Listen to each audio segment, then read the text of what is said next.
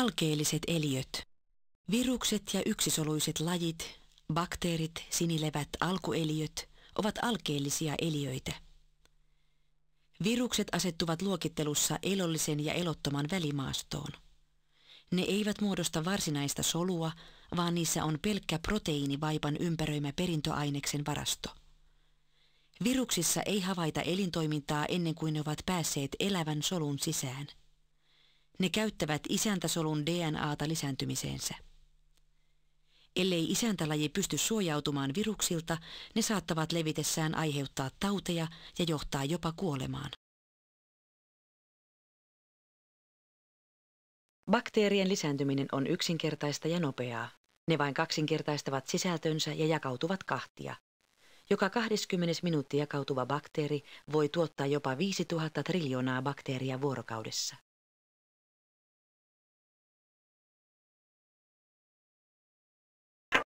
Bakteerit ja sinilevät.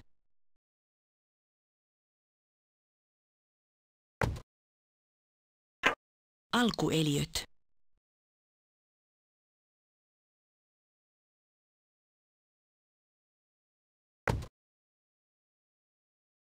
Sienet.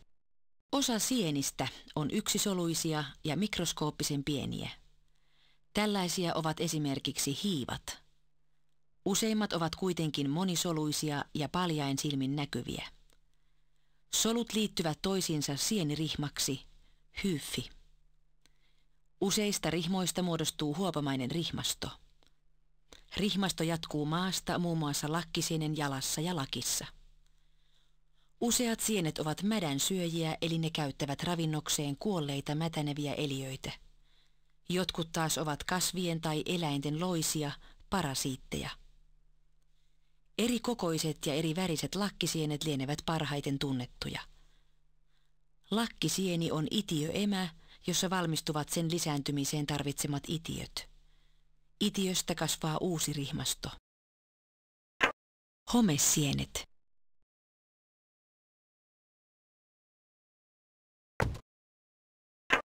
Jäkälät.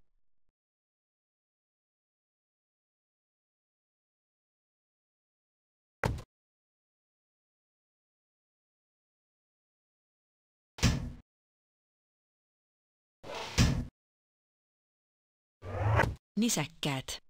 Nisäkkäät ovat tasalämpöisiä selkärankaisia. Vain nisäkkäillä on turkki tai karvoja ruumiin pinnalla sekä korvalehdet. Suurin osa nisäkkäistä on istukallisia. Tämä tarkoittaa sitä, että sikiö kehittyy kohdussa emonsa sisällä ja saa ravintonsa istukaksi kutsutun elimen kautta. Napanuora yhdistää sikiön istukkaan.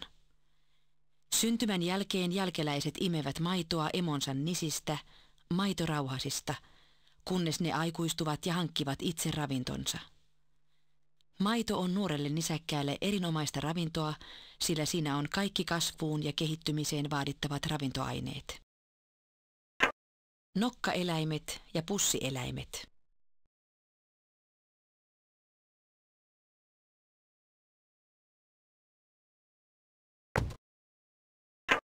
Kavioeläimet ja sorkkaeläimet.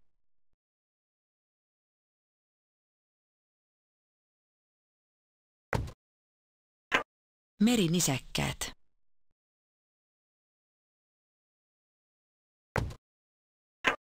Kädelliset.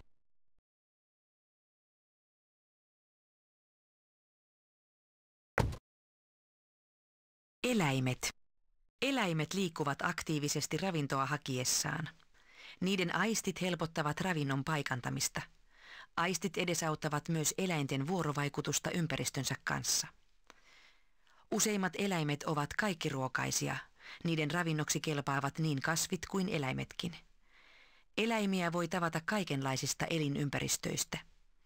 Lentokykyisiä eläimiä ovat muun muassa linnut, lepakot ja monet hyönteiset. Vesieläimiä ovat esimerkiksi kalat, joita tapaa joissa ja merissä. Maa-eläimet elävät sekä maan pinnalla että sen alla. Jotkut eläimet ovat sopeutuneet elämään useassa elinympäristössä. Näin sammakko tulee toimeen maalla ja vedessä. Toistaiseksi on määritetty yli miljoona eläinlajia, mutta läheskään kaikkia ei vielä tunneta. Selkärangattomat ja selkärankaiset.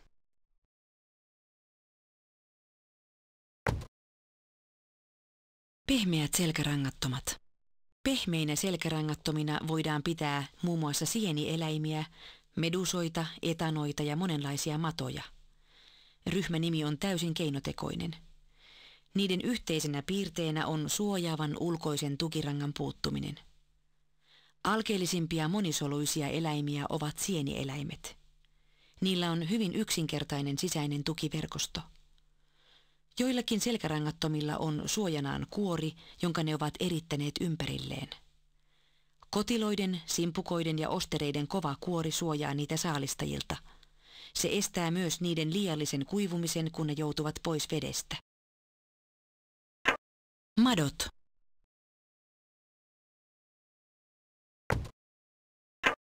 Nilviäiset. Niveljalkaiset. Niveljalkaisten pääjakso on eläinkunnan suurin eläinryhmä. Tyypillisellä niveljalkaisella on jaokkeinen ruumis, kova ulkoinen tukiranka, eksoskeleton ja nivelikkäät jalat. Useimmilla ryhmän lajeilla on verkkosilmät. Ulkoinen tukiranka estää eläimen koon kasvua. Siksi niveljalkaiset luovat kehityksensä aikana nahkansa useaan kertaan voidakseen kasvaa täysikokoisiksi. Leppäkertun munasta kuoriutuva toukka on piikikäs. Piikit suojaavat sitä saalistajilta. Kun toukka on syönyt tarpeeksi, se asettuu lehden alle ja koteloituu. Kotelon sisässä hyönteisen ruumiin osat järjestäytyvät uudelleen aikuiseksi leppäkertuksi. Kuoriutuessaan se on pehmeä ja keltainen, mutta muuttuu nopeasti punaiseksi ja kovettuu. Leppäkertun kehitystä munasta aikuiseksi kutsutaan täydelliseksi muodonvaihdokseksi.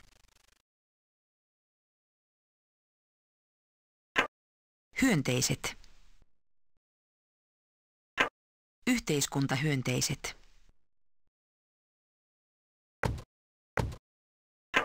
Äyriäiset.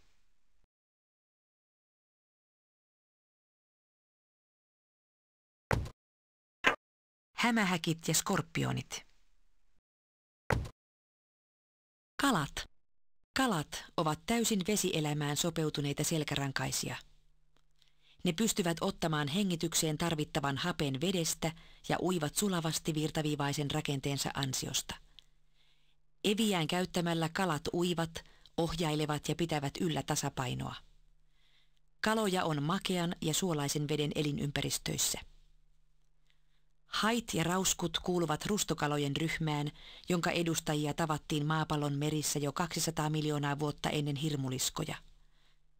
Rustokalojen tukiranka ei ole luutunut, vaan se on rustoinen. Niiden suuri öljypitoinen maksa toimii uimarakon tapaan.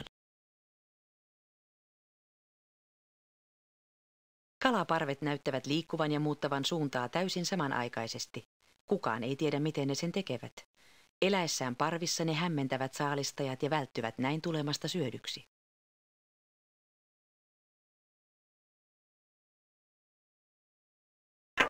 Luukalat. Kalojen hengitys.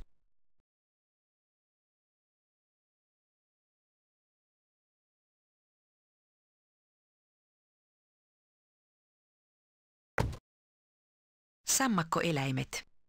Sammakkoeläimet kykenevät elämään kuivalla maalla, mutta niiden on palattava veteen lisääntymään. Selkärankaisten alajaksoon kuuluvat sammakkoeläimet ovat vaihtolämpöisiä. Ryhmään kuuluu sammakoiden lisäksi konnia, salamantereita ja vesiliskoja. Sammakot ja konnat ovat yleisimpiä sammakkoeläimiä. Aikuisilla yksilöillä on mulkosilmät, kyyhöttävä asento ja niiltä puuttuu häntä. Vesien tuntumassa elävillä sammakoilla on sileä iho. Niiden takajalat ovat voimakkaat ja hyppäämiseen soveltuvat. Varpaiden väliset ihopoimut, räpylät edistävät niiden uintia. Maalla elävillä konnilla on rupinen iho. Tavallinen sammakko palaa veteen paritellakseen ja muniakseen satoja munia. Kukin muna on hyytelön sisässä. Sammakonpoikainen syö hyytelyä noin kymmenen vuorokauden ajan ennen kuoriutumistaan. Seuraavien kolmen kuukauden aikana se syö kasveja, vaihtaa väriä ja sille kehittyy asteittain ensin taka- ja sitten etujalat. Lopulta sen häntä häviää, se siirtyy maalle ja kasvaa aikuiseksi.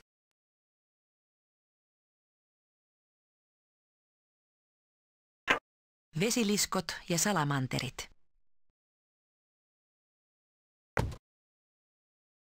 Matelijat. Matelijat ovat selkärankaisia, jotka ovat menestyksellisesti sopeutuneet ja levittäytyneet maalle. Niiden keuhkot ovat hyvin kehittyneet ja ihon suomuisuus estää sen kuivumisen. Useimmat myös munivat munia, joissa on ravintoa ja vettä vedenpitävän kuoren sisällä. Näistä syistä ne tulevat toimeen kuivissakin olosuhteissa. Matelijat ovat vaihtolämpöisiä, eli niiden ruumiin lämpö seuraa ympäristön lämpötilan muutoksia. Matelioita on kolme pääryhmää. Käärmeet ja liskot, krokotiilit ja alligaattorit sekä kilpikonnat. Käärmeet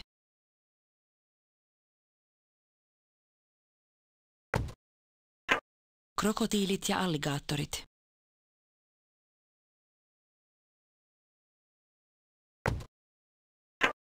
Kilpikonnat.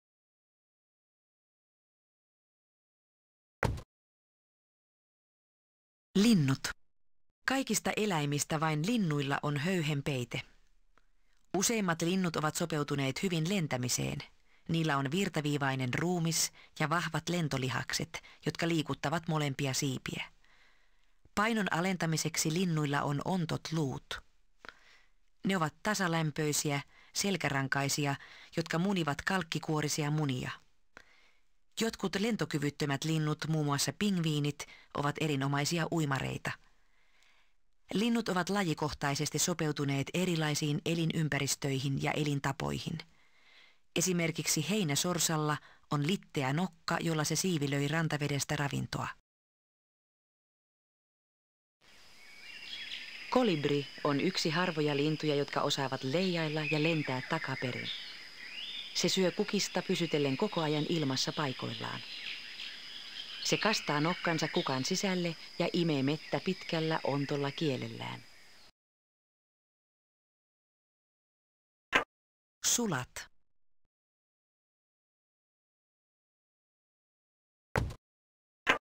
Lentäminen. Kyyhky lentää räpyttämällä siipiään kuin soutaen ilmassa. Siipien lyöntiliikkeet kohottavat sen korkeammalle ja vievät sitä samalla eteenpäin. Alaspäin suuntautuva siiven isku painaa ilmaa alas ja taakse. Tämä aiheuttaa nosteen, joka vie lintua myös eteenpäin. Siipien lyödessä ylös niiden kantavaan pintaan syntyy sulkien välisiä rakoja, joiden kautta ilma pääsee virtaamaan. Lennossa kyyhky lyö siivillään kolmasti sekunnissa. Muutto.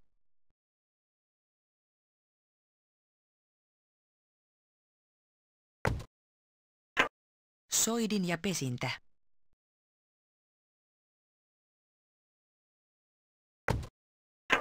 Pesäpoikaset.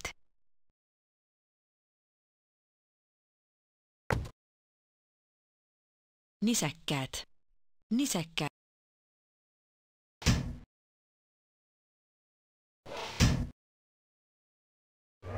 Elävä maapallo. Maapallon ja ilmakehän sitä osaa, jossa on elämää, kutsutaan biosfääriksi eli elon kehäksi. Siihen kuuluvat maa ja ilma sekä järvet, joet ja valtameret. Lajit elävät yleensä samanlaisten yksilöiden muodostamassa ryhmässä, jota kutsutaan populaatioksi. Samassa elinympäristössä elää useita eri populaatioita – Yhdessä niistä muodostuu eloyhteisö. Eloyhteisön jäsenet ovat jatkuvasti tekemisissä toisten lajien ja ympäristönsä kanssa, jolloin syntyy tasapainoinen elävä ekosysteemi. Sellaisia ovat muun muassa valtameri ja sademetsä. Näitä biologian ilmiöitä tutkii ekologia eli oppi ympäristöstä. Koralliriutta on hyvä esimerkki planeettamme eliöstön monimuotoisuudesta. Monet eri lajien kalat elävät siellä yhdessä katkarapujen, simpukoiden, merietanoiden, merilevien ja korallieläinten kanssa. Korallieläimet ovat sukua merivuokoille ja kampamaneeteille. Niitä esiintyy puhtaissa ja lämpimissä merissä, siellä missä vesi on niin kirkasta ja matalaa, että koralli saa tarpeeksi auringonvaloa. Ekosysteemit.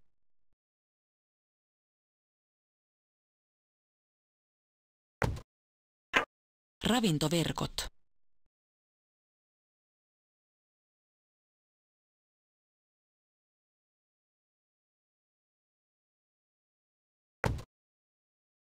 Eliöt ja ympäristö. Elävät eliöt ovat sopeutuneet tulemaan toimeen tietyillä maapallon alueilla.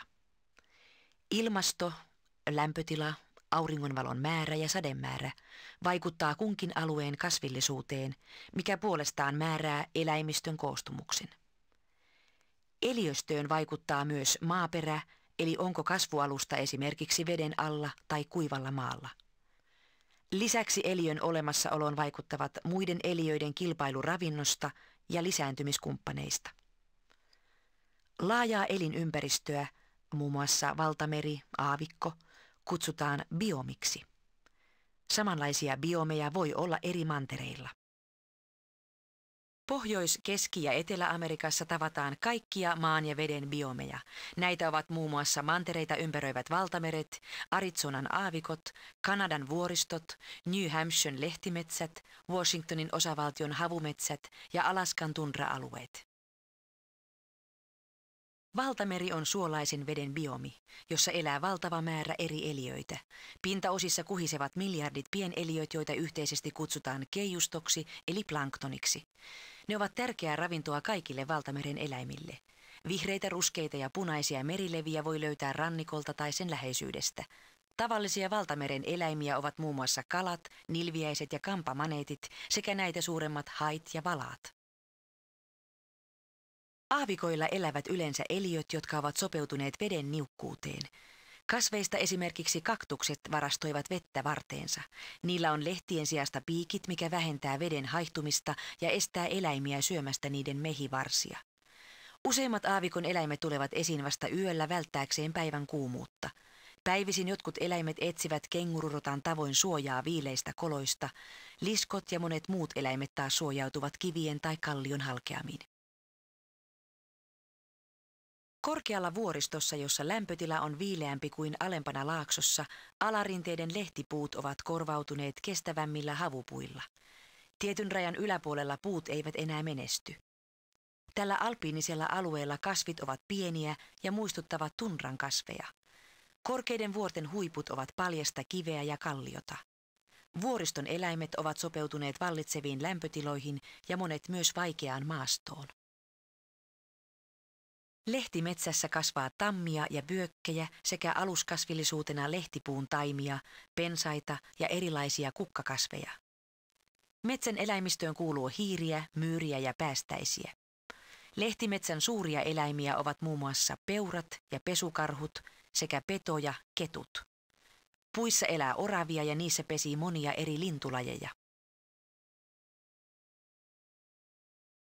Havumetsissä kasvaa pääasiassa kuusia ja mäntyjä.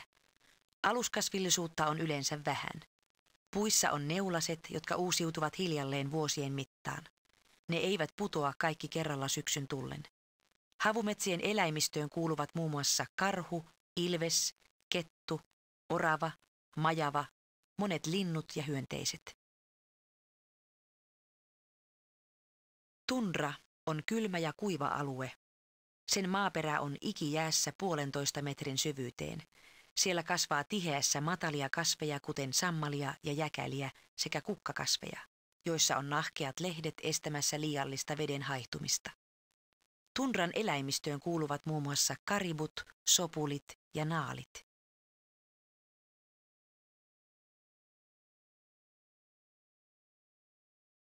Maapallon kierrot. Elämä maapallolla on riippuvainen erilaisista kierroista. Energiavirta alkaa siitä, kun vihreät kasvit vangitsevat valoenergiaa ja tuottavat yhteyttämisessä ravintoa itselleen. Tästä syystä vihreitä kasveja kutsutaan tuottajiksi. Kasveista energiaa siirtyy kasvinsyöjille, herbivori, jotka ovat ensimmäisen tason kuluttajia. Toisen tason kuluttajat ovat lihansyöjiä, karnivori, jotka saalistavat kasvinsyöjiä energian tarpeisiinsa. Aina kun energiaa hankitaan, poistuu osa lämpönä ja sulamattomina jätteinä. Kuolleet eliöt ovat hajottajien eli sienien ja bakteerien ravintoa. Veden kierto.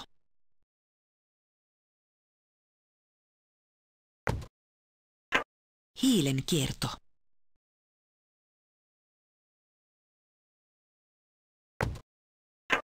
Hapen kierto. Typen kierto.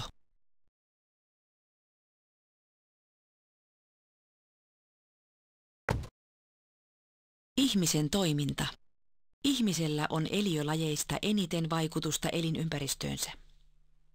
Jotkut ihmisen toimet uhkaavat maapallon laajuisesti elinympäristöjä ja samalla luonnon monimuotoisuutta, kaikkia eläin- ja kasvilajeja. Luonnon tasapaino on järkkynyt muun muassa liikakalastuksen, liiallisen metsästyksen ja metsien hävityksen myötä. Lisäksi vahingoitamme ympäristöämme saastuttamalla maaperää, ilmaa sekä valtameriä, jokia ja järviä. Luonnon kantokyky on koetuksella myös yhä kiihtyvän väestönkasvun vuoksi. Saastuminen. Autot ovat suurimpia ilmansaastuttajia osaksi sen takia, että niitä on niin paljon. Pakoputkesta tulevat kaasut, jotka lyijyä sisältäessään ovat erityisen myrkyllisiä lapsille, voivat muodostaa muiden päästöjen kanssa savusumukerroksen kaupungin ylle.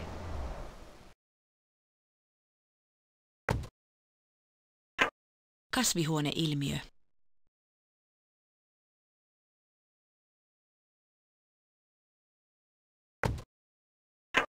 Köyhtyvä ympäristö. Uhanalaiset lajit.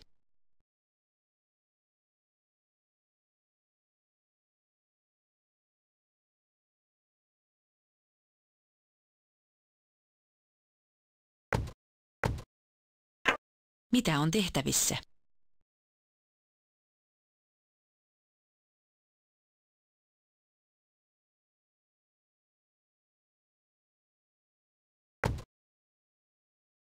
Elävä maapallo.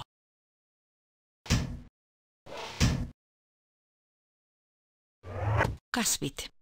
Useimmat kasvit ovat väriltään vihreitä, koska niiden soluissa on lehtivihreää, klorofylli. Se toimii auringon valoenergian vastaanottajana yhteyttämisen reaktioissa, joissa tuotetaan ravintoa. Kasvit ovat tavallisesti kiinnittyneet kasvualustaansa maahan.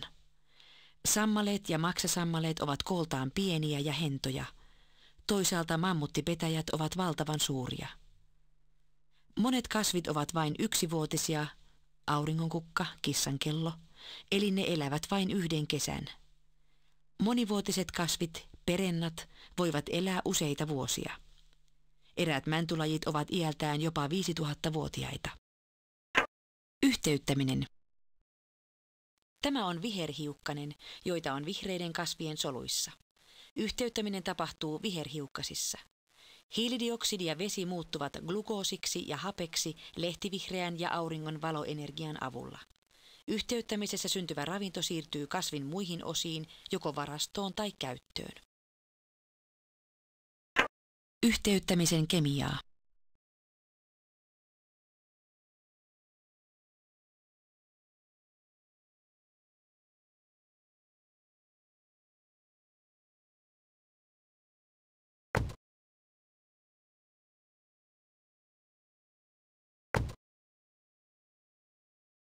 Kukkimattomat kasvit. Joidenkin kasviryhmien lajit eivät kuki lainkaan. Näihin luetaan havupuut, sanikkaiset, sammalet ja levät. Viimeksi mainitut eivät ole varsinaisia kasveja. Havupuut tuottavat siemenensä kävyissä. Männyn hedekukka on pienikokoinen verrattuna käpyyn. Molemmat ovat samassa kasvissa. Havupuiden lehdet ovat neulasmaiset ja niiden pieni pinta-ala estää liiallisen veden haihtumisen. Näin havupuut tulevat toimeen kylmässä ja kuivassa elinympäristössään. Useimmat havupuut ovat aina vihantia. Merilevät.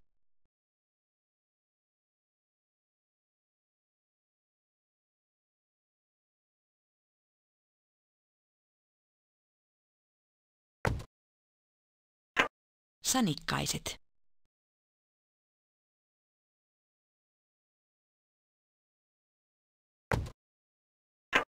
Sammalet.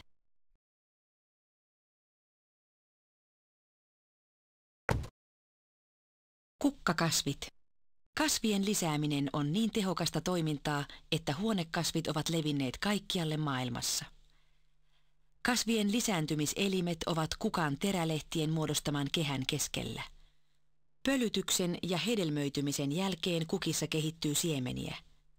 Ne voivat olla erilaisten hedelmämuotojen kuten marjan, kodan tai lidun sisällä. Siementen levittäminen käy mitä erilaisimmin tavoin. Eräiden kukkakasvien siemen on yksiosainen eli yksisirkkainen, monilla muilla siemen on kaksiosainen eli kaksisirkkainen. Mehiläisen kerätessä mettä tästä kukasta sen jalkoihin toisesta kukasta tarttunut siitepöly hankautuu kukan keskellä olevaan tahmeaan osaan, emin luottiin. Ilmiötä kutsutaan pölytykseksi. Se on ratkaiseva tekijä kukkakasvien suvullisessa lisääntymisessä, jossa siitepölyn sisässä oleva koirassolu yhtyy kukan keskellä sikiäimessä olevaan naarassoluun. Yksisirkkaiset ja kaksisirkkaiset kasvit.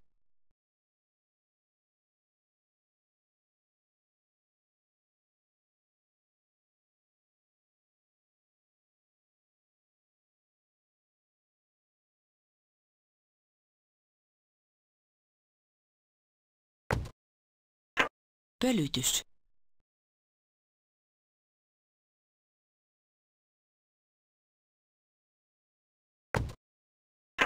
Hedelmöitys.